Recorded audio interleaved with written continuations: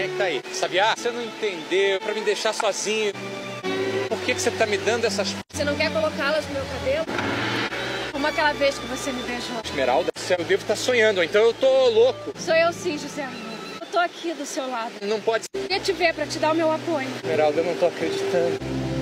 Você acredita agora? Perdoa. Eu tinha que ficar nesse escuro pra entender o que você sofreu. Eu mereço esse castigo. Não, meu amor, não diga. O coração é seu, desde o primeiro dia em que eu te vi. Você é o amor da minha vida. Me perdoa, por favor. Claro que eu te perdoo. Vamos fazer de conta que tudo isso é um pesadelo. Que agora nós acordamos pra uma vida nova. Nos amando como no primeiro. Obrigado, Esmeralda. Há quanto tempo nós não ficamos assim? Há quanto tempo as minhas mãos não tocam? Eu quero te tocar e curar essa solidão com meu carinho. Mas por que, que você tá aqui? Eu achava que você estava longe, casada com Alva. Eu achei que você já tinha. Nada disso aconteceu. Eu vim te buscar porque eu quero ficar com você. Mas o seu casamento com Alva. O Álvaro não tá mais entre. O Álvaro entendeu que eu não o amava. Você disse isso pra ele?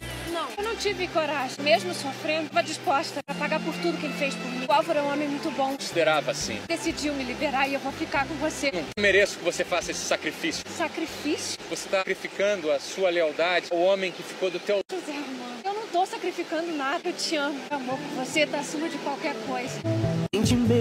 Verdadeiro, ela é uma. Parece mentira que eu tô sentindo você aqui de novo. Você não imagina como eu sonhei em ter você assim. Tem tantas noites, sem... lembrando dos nossos momentos, te desejando desesperadamente. Agora que você tá aqui, eu vou te dar os beijos que eu não te dei nesse tempo todo. Eu te amo. Se pudesse te ver, é só o que falta pra eu ficar totalmente feliz. Se você quiser, você pode ver. Não com esses olhos, mas com os olhos lá. Não posso. Talvez um dia, quando eu não sentir mais remorso, quando eu achar que eu posso te fazer feliz, que eu posso ser digno de você, aí sim talvez eu possa voltar a enxergar. Que eu pensei que eu poderia viver sem você. Um passarinho cantando, como naquele dia. Era tímida, feitei o seu cabelo com flor. Será que um dia como aquele vai voltar a existir? Em breve, logo, nós teremos muitos dias como aqueles e nós nunca mais vamos. Temos uma vida inteira pela frente. E o José Rodolfo? Ele veio comigo. Meu amor, eu fui um idiota, mas eu te amo tanto. Também te amo. Todo mundo deve estar preocupado com a gente. Será? Eles sabiam que eu vinha te encontrar. Ele tá querendo saber o que aconteceu. Mas eu não posso ir, eu tenho que esperar. Não, ele me viu. Sabe que agora eu vou ser sua guia. E você consegue? Todo mundo me pergunta a mesma coisa. Porque você viu esses lugares. Posso andar por ele sem olhar. Sabe como é que eu cheguei até aqui? Fechei os meus olhos, o instinto e a vontade de estar com você me guiar. Ih, meu amor, eu confio em você. Já chegamos, Esmeralda e José. Eu vi vocês chegarem. Que maravilha. É assim que eu sempre quis ver meus filhos felizes. Não precisamos perguntar nada. A alegria está estampada na carinha de você. Vocês estão muito radiantes. Gosto disso. Hoje eu sou o homem mais feliz do mundo. Só falta uma coisa pra completar minha felicidade. O José Rodolfo. Ficou na casa do tio Rosário. Acho que não foi nada. Precisa descansar um pouco. Vou te levar até o quarto. Não se esqueça que agora eu tô aqui pra cuidar.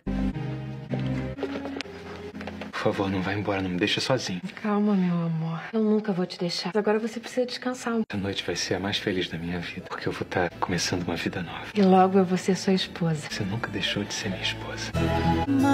Quero ter logo o José Rodolfo aqui do meu lado. Será que ele ainda vai se lembrar de mim? Claro que. Sabe como são as crianças? Elas acabam esquecendo das coisas rapidamente. De você, ele jamais esqueceria. O único problema é que eu não vou poder vê-lo. Que isso? Você vai se curar. Que nós vamos deixar você ficar assim pra sempre? Vamos fazer todos os exames que precisar. Isso, papai, agora eu também quero voltar a ver. A Esmeralda já saiu faz um tempo. Acabei caindo no sono, tava tão impaciente. Nossa, eu quero que eles cheguem logo. A Esmeralda tem sido tão boa comigo. Imaginava que ela pudesse me perdoar. Não achei que eu merecesse tanto. É claro que Esmeralda, acabou de chegar.